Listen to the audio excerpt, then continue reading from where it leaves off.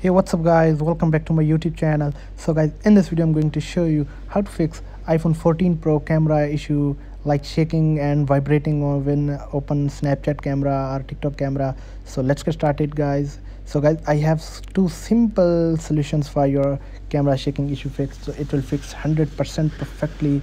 So first issue uh, the first uh, solution is the simple solution. Go to general go to transfer. So reset all settings so guys reset all settings. It will not delete your data. It will only uh, reset all your settings.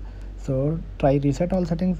So guys after resetting your settings your issue is still here. So what you need to do open Safari browser.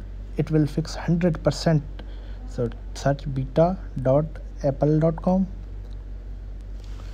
so go to the apple website.com uh, beta apple website.com scroll down and tap on get started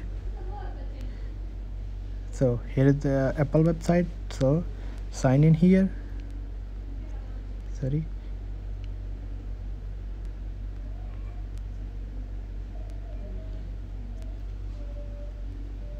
So I don't want to activate two-factor on my Apple ID so simply ignore it.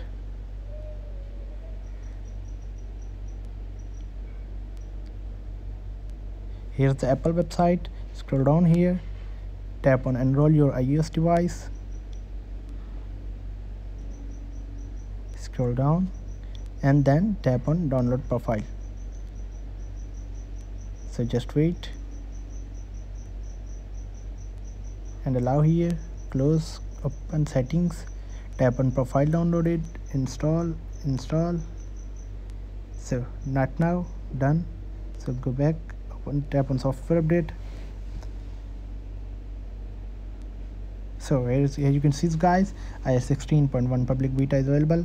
So guys Apple just released iOS 16.1 public beta because in iOS 16 uh, uh, uh, in iOS 16 has bugs like camera shaking and other bugs. So apple released ios 16.1 beta. So guys install ios 16.1 beta on your iphone to fix this issue simply.